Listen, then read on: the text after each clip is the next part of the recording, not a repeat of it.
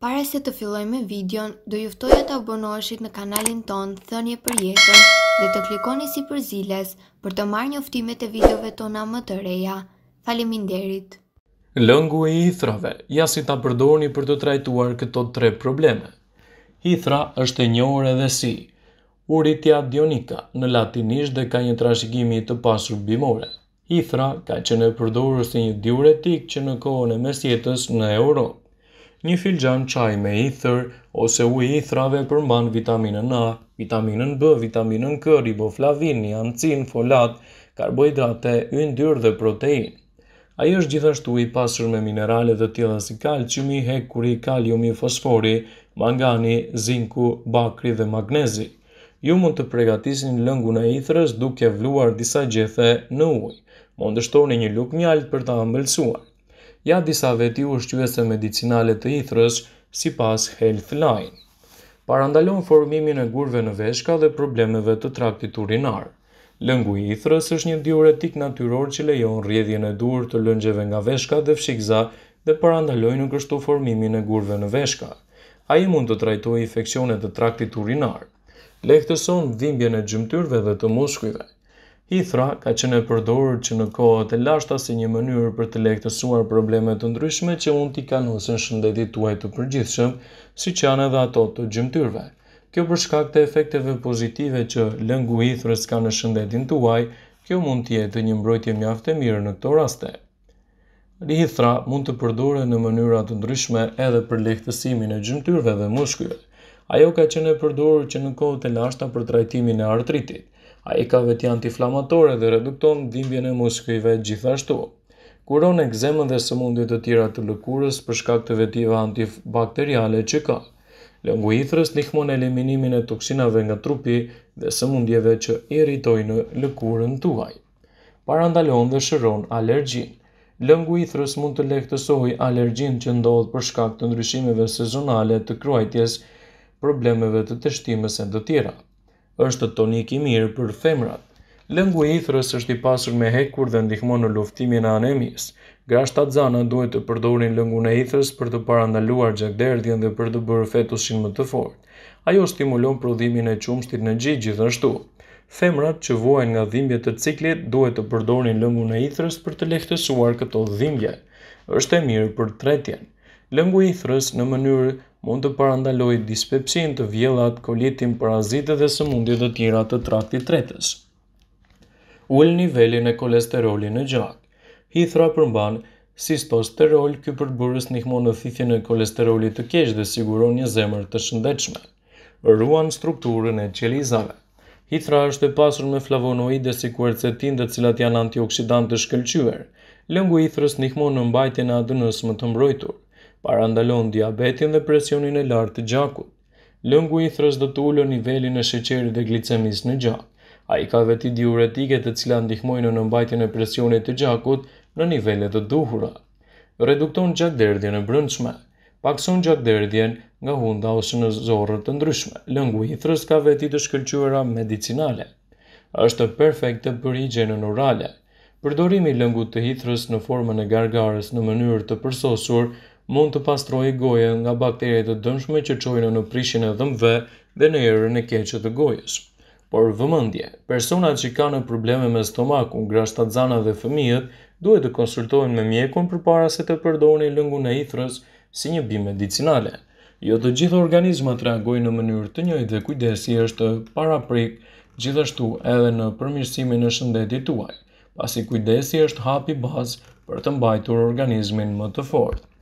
Lëngu i hithrës ndoshta nuk futet në listën e zgjedhjeve të preferuara të çajrave për shumë konsumatorë. Megjithatë, ky lëng është i shijshëm dhe plot me vlera sepse arrin të ulë dhimbjet, të qetësojë alergjitë, të përmirësojë sistemin imun dhe të mbrojë zemrën.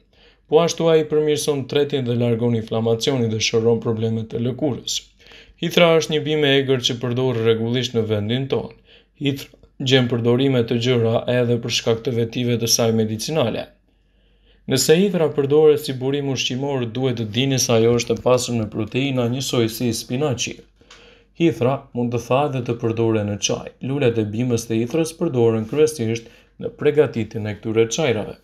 Çaji i hithrës është i fortë dhe ka efekte të menjëhershme në organizëm për shkak të flavonoideve, karotenoideve, vitaminave dhe mineraleve që i përmban me shumicë. Hithra është veçanërisht e pasur me kalcium, magnez, madje më shumë se barishtet e tjera dhe zarzavatet.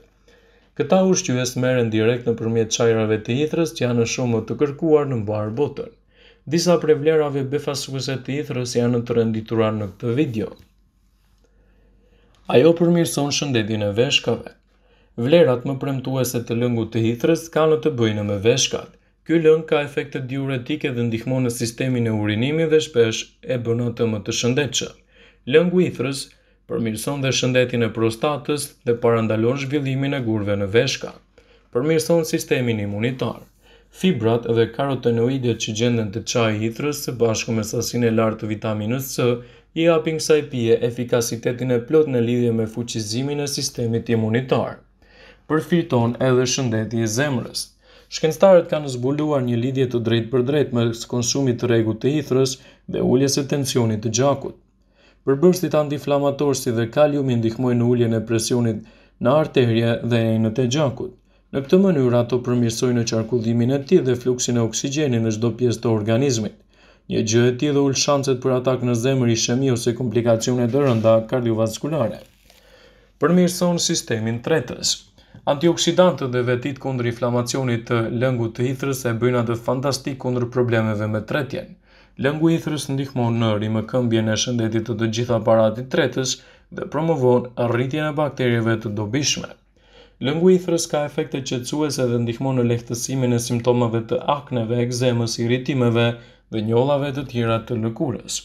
Ju mund ta pini këtë lëng për të përfituar nga këto efekte ose mund ta përdorni lëngun e tyre për të lyer zonat e prekura të lëkurës dhe siguroni përthithje maksimale. Lëngu i hithrës përmban shumë minerale të shëndetshme përfshirë kalcium, magnez dhe hekur. Kjo e bën atë një lëng të jashtëzakonshëm për njerëzit që vuajnë nga anemia, por edhe parandalimin e sëmundjeve gërryese të kockave me kalimin e moshës. Lëngun e hithrës mund ta përdorni edhe për të ulur dhimbjet e muskujve të shpinës, të kokës, të lëndimeve të lëkurës e të tjera. Ky lëng është kaq i fuqishëm saqë mund të përdoret edhe në probleme të ndryshme. Aplikimet e jashtme të lëngut të hithrës janë po aq efikase, madje dhe të drejtpërdrejta, por gjithashtu sigurisht duhet të pihet në mënyrë të kontrolluar në mënyrë që të mos dëmtoni organizmin. Por si të pregatisni lëngun e hithrës? Vendosni hithra të thata ose të freskëta në një çajnik. Hidheni në ujë dhe vendosni çajnikun në zjarr. Për një filxhan me hithra ju nevojiten dy filxhanë me ujë. Çajin mund ta bëni të fortë duke hedhur më pak ujë ose më të lehtë duke hedhur më shumë ujë. Sapo uji të ketë zier, hiqeni nga zjarri dhe e lini të ftohet pak minuta, më pas e kulloni dhe hidheni në filxhan. Disa njerëz preferojnë të shtojnë pak sheqer, por edhe mjaltë, në mënyrë që të bëjnë një zgjidhje ideale për organizmin e tyre. Gjithashtu, merrni një lugë çaji me gjethe të thata dhe hidhini në çajnik me dy gota ujë, kështu do të realizoni një pije mjaft të mirë me gjethet e hithrës për të rritur imunitetin tuaj. Hithra është fantastike dhe i jep trupit shumë shëndet. Xhenxhefili nga ana tjetër nëse kombinohet me hithrën mund të jetë një përbërës mjaft i mirë në krijimin e një lëngu mjaft të shijshëm për të rritur edhe mbrojtjen e organizmit tuaj dhe për të përmirësuar çështjet tuaja shëndetësore. Për shekuj me radhë, hithrat janë përdorur si një mbrojtje mjaft e mirë kundër alergjive, veçanërisht ato të shkaktuara nga pluhuri dhe poleni. Hithra është aq e mirë saqë praktikisht mund të çojë në falimentimin e farmacive. Ajo që duhet të dimë është se lufta kundër alergjive mund të bëhet më efikase me përdorimin e hithrës si një mjet vërtet ideal në trajtimin e këtyre problemeve. Vëmendje, Informacionet në këtë video kanë për qëllim që të mbulojnë vetëm këshillat paraprake. Të mos zëvendësojnë këshillat nga mjeku juaj ose ofruesi i kujdesit tuaj shëndetësor dhe nuk kanë për qëllim që të mbulojnë të gjitha përdorimet e mundshme, masat paraprake, ndërveprimet, madje dhe as efektet e tyre negative që mund të krijojnë në shëndetin tuaj. Pasi ta dëgjonit këtë video, do t'ju ftoja t'i bënit like dhe ta shpërndanit atë në profilin tuaj në mënyrë që të informohen dhe miqtë e tu.